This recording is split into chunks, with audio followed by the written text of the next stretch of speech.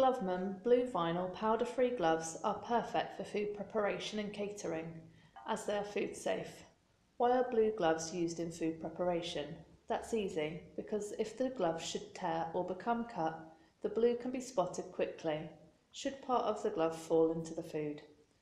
They have a beaded cuff and like our clear vinyl gloves, they are not flexible. They come in sizes extra small to extra large.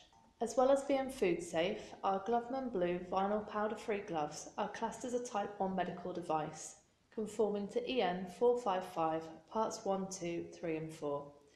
They are non-sterile and single use only.